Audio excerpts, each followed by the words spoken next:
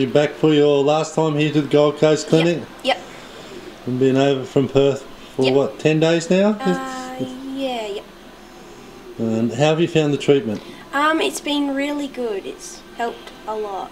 Yeah. How, how has it helped you, darling? Um, well, it's um now I can read a like a normal size 12, 10 size font, which is really good. So I can read my books without magnifiers and stuff. Oh, that's yeah. lovely.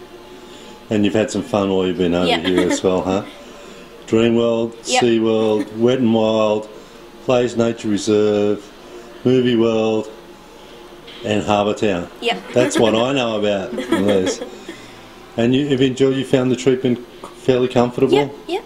Good, good, good. Well, that's wonderful news. And Sue, how have you found your experience here on the uh, lovely Gold Coast? Oh, it's been really good. I was a bit nervous when we first started because of thinking, not knowing what we were going to expect, and also bringing a child to somewhere across here, not knowing if it was going to make any difference. But that's probably the reason why we came across because we thought we would have a holiday at the same time. But the results have been just incredible. For Jane to be able to read without a magnifier is something that's pretty special for us. So, but we're just sort of always going, oh, I keep saying, Jane, can you see that? Can you see this? I'm always thinking that because it's like, she, the way she explained it to me was like um, everything was so much clearer at the moment. So there's not a fuzzy edge to everything. So it's sort of brighter too.